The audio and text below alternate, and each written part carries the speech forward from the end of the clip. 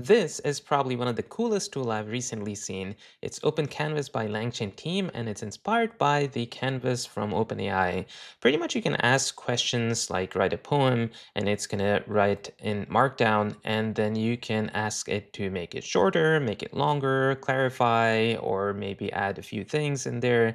You can also ask for it to write code as expected in many of the chat tools out there. So it's going to write the code for us. We can ask different questions questions. But the cool thing is you can actually interact with the canvas and there are a bunch of options. You can ask for a section of code as to add comments or explain it, or perhaps mm. change some variables. There's also a toolbar on the bottom right where you can also change a few things. So one of the things is to ask for it to generate comments or add clarity, or you can also ask for it to change or switch the language in this toolbar as well.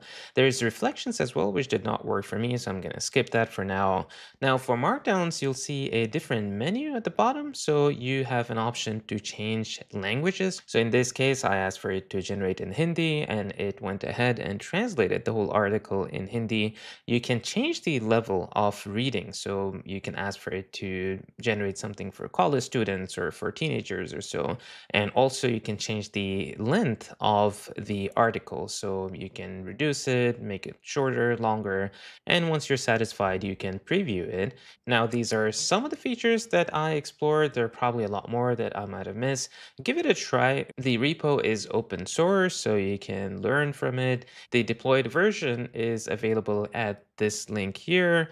And also you can self-host it. There are instructions for that. And there are already more than 800 stars. So good job, LangChain team.